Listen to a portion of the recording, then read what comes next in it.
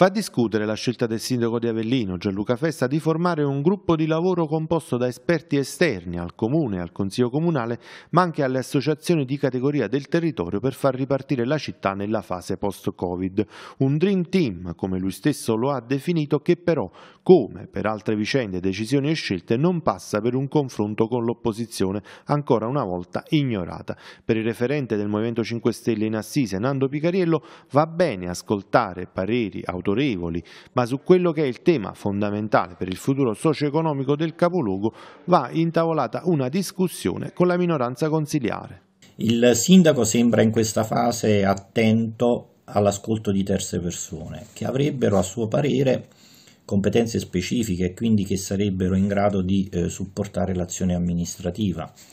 Devo ammettere che questo atteggiamento mi sorprende. Festa eh, non ha certo usato lo stesso parametro di ascolto verso le opposizioni che hanno eh, un ruolo istituzionale che va garantito sempre e a maggior ragione in una situazione come quella che stiamo vivendo.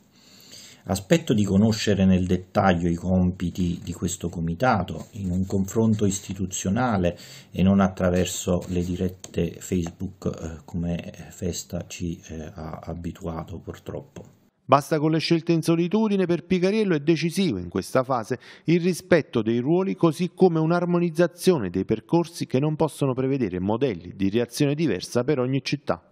In questi giorni abbiamo purtroppo assistito ad azioni e iniziative eh, fuori da un contesto politico nazionale.